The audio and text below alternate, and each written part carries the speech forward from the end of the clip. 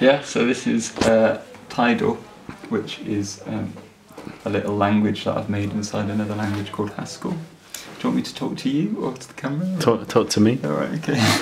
um, and uh, I'm running it in uh, inside this very old school editor called Emacs, which was made by um, a very interesting man called Richard Stallman, who might just save the world one day if you can stop getting so angry.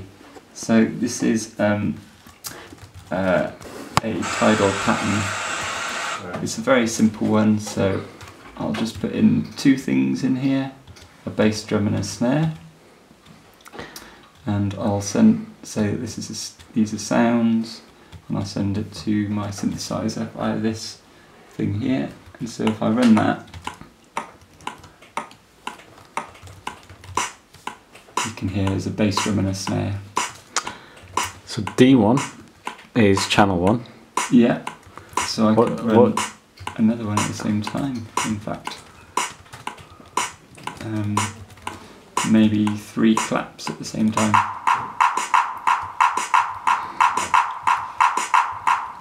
Um, and then I can stop that one. So the idea is that this is something I can build up over time um, while it's running and increase the complexity until it sounds interesting. Uh, what's the um, sorry? What's the dollar sign for? the dollar sign is just really for separating things. Um, uh, without that, I'd have to wrap it all in brackets. So it doesn't actually do anything apart from take this and pass it to this. Um, so you can ignore the dollar sign, it's just a syntactical thing. Just divides these things up. Um, so in here, within the uh, quotes, is another sort of language inside this language, which is just for specifying polyrhythmic patterns. So I can do um, you kind of hear that's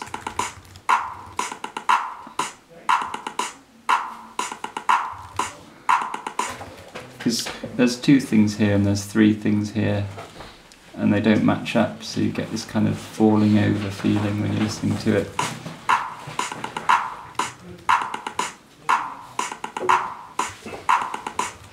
Um, so Tidal's very good for making um, uh, polyrhythms Are, those um, those abbreviations they're related to instruments? that's right But are those instruments um, samples or are they?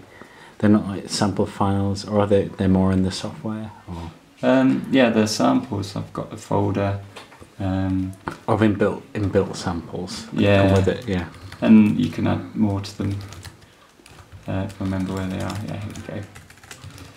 So CP means clap, but actually what it really means is this folder CP here. And if I look inside, so there's two WAV files. Um, and what I'm doing here is just playing them. So I, I can pick the second one like this, slightly different. Um, or if I use numbers, One, one, one, two, two, two, five, two, five, two, five.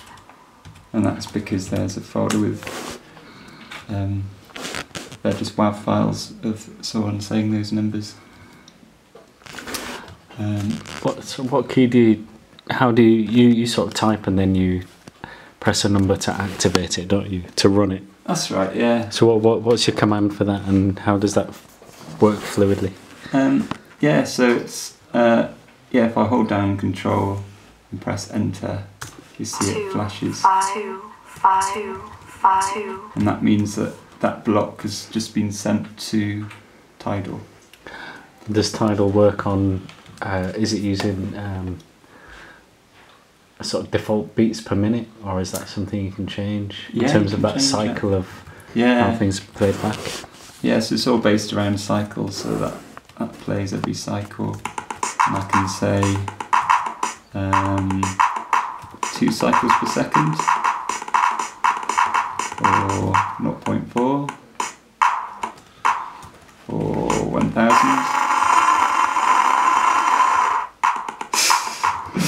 yeah because it's sort of handmade software. It hasn't got any limits built in and so it's possible to break it quite easily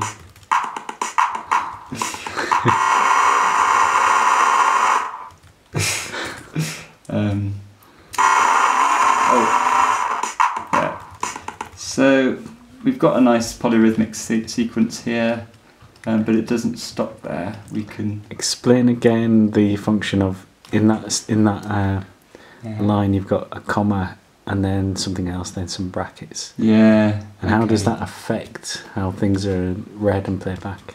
Well, they're sort of layered up.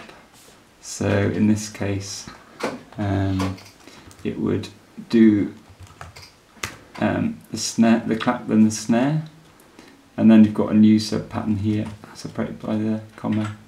So you'd have BD times four, which is like a little drum roll, and you'd have this, which is um, a high tom, a clap, and a hi hat in the same space and then you have a low tom. And so these little sub elements would line up. But because there's two here and there's three uh, sub elements here, although this sub element is And they all have to fit in the same cycle. Yeah, Does it just distribute them across that cycle then, in terms of like thirds and halves? it can do. So if I um, that's how it does it. If I use square brackets.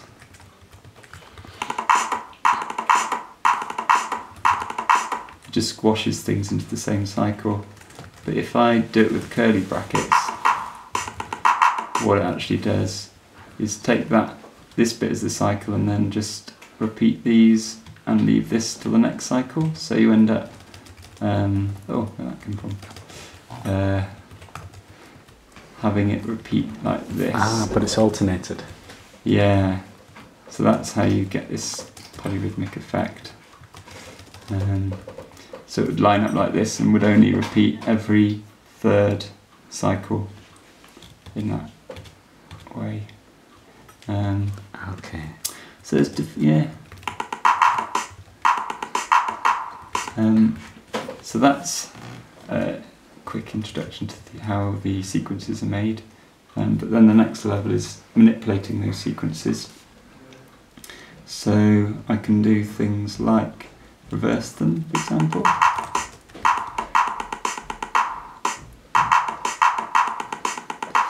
But difficult to really hear the difference between that and that. Just playing it forward and backward. But what I could do is have it only reverse in one speaker, which is quite hard to hear on my laptop. But um, yeah, so at one side it's playing the pattern forward, and at the other side it's playing it backward. Um, I can also do things like increase the density of the pattern, which basically um, Fits two cycles into one. Yeah. Yep. I could do 2.5 or one third, which slows it down. Um, again, I could just run that in one speaker. So jux means juxtapose, basically. That means in one speaker it's running faster than the other. Um, so there's quite a lot of these sorts of things you can sort of gradually shift the pattern. So it started off sounding quite straightforward, but now it's starting to sound a bit crazy, which is good. Um, but I can pattern other aspects of the sound, like how fast it plays the sound. So now they sound sort of high pitched. So on the, they're in the same rhythm, but just much the shorter. Yeah, the actual sound, Yeah. each sample is played back faster, which makes it sound shorter and high pitched. Um, and I'm patterning that as well, so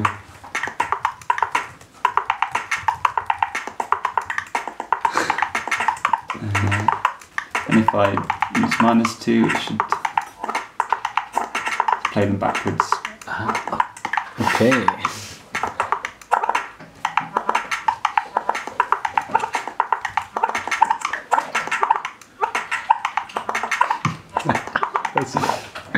So I've got two patterns playing against each other, sort of combined into um, synthesizer messages, but it's just like you're patterning the sound and then you're patterning the speed of it, or you could pattern the um, uh, the vowel sound. So that's filtering the sounds so that it sounds like the vowel that I'm typing in. So that sounds like ah.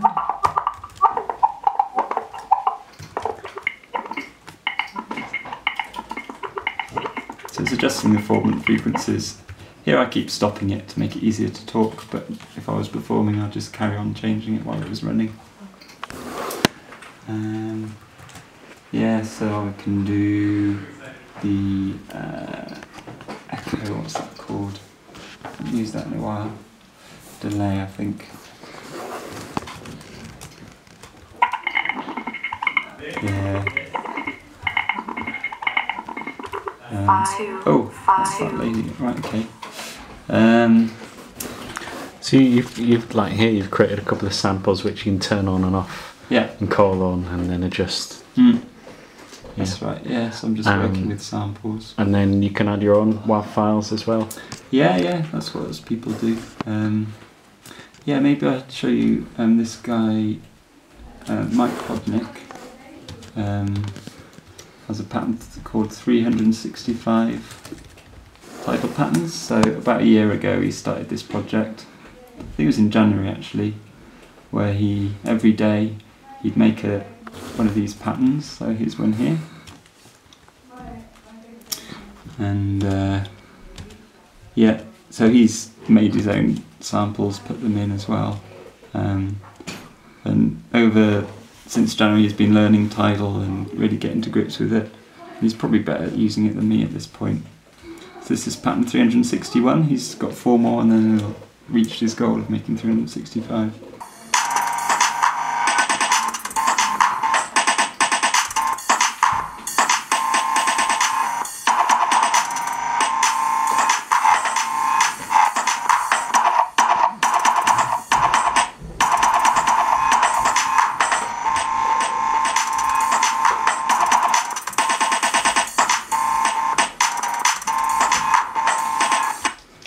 This little bit of text generated that um, sort of experimental drum and bass loop. Um, here's another one. See how this sounds like.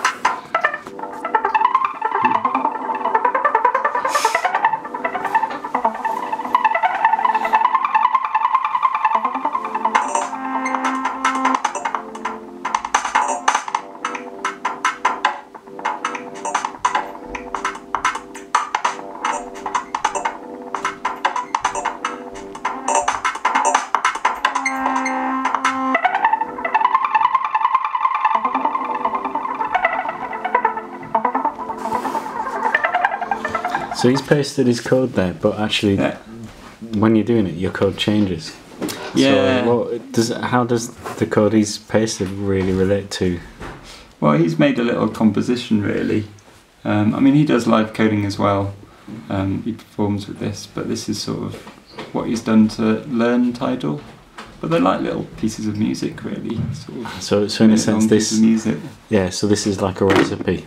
Yeah, like made it. recipe, It doesn't change, but Yeah. so how this how is he build able to build structure into? Um, that?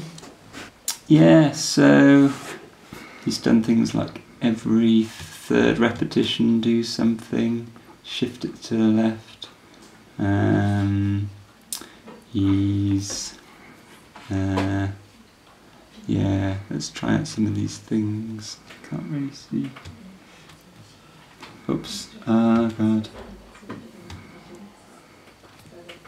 Um, well, there's a little bit of structure there. It seems like it's shifting between two different things. So, if we wanted to make this change a bit more over time. Maybe we'll make it a bit more conventional.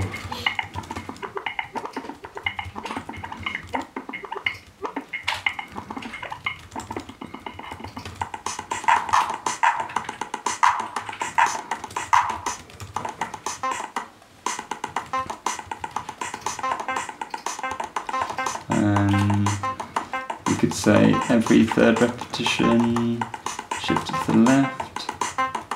Um, you could, um, when mod, um, so every, yeah, four cycles out of every eight, we could um, superimpose something like um, I don't know, let's increase density on top. Yeah, it's not sounding very good really.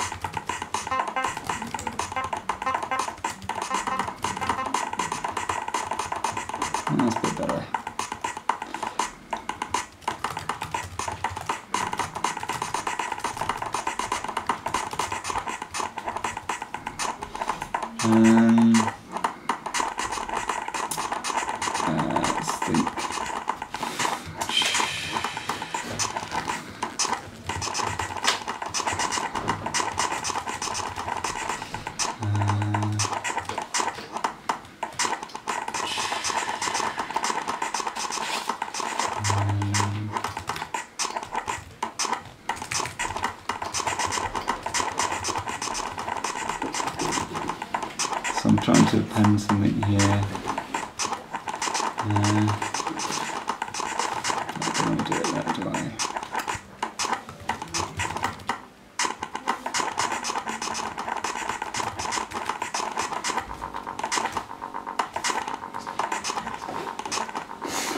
Bit of a bass line coming in every now and then. I don't know, so there's lots of different things you can on top basically. Um, I'm not really feeling this one just at the moment.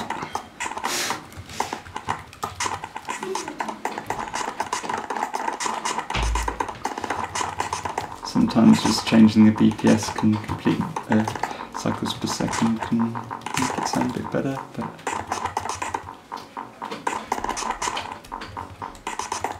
Yeah, not really feeling that one.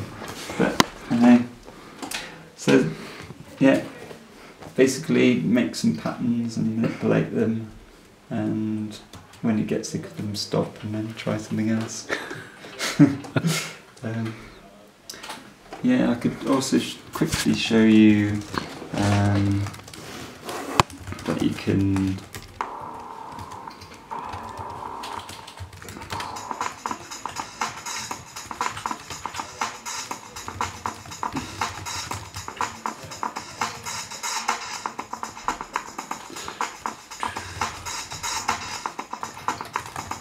So what I'm doing here is starting with a long sample, like um, a break, um, and then chopping it into lots of bits, and then patterning those little bits individually. So reversing them or um, shifting them in different ways, so you can quickly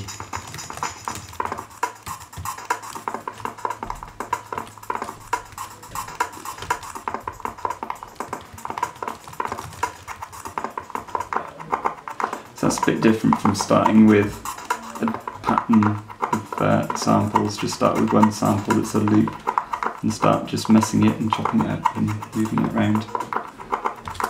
Um, so yeah, that's basically a quick intro to Tidal. Thank Um, you. Any other curious, curiosities? Mm.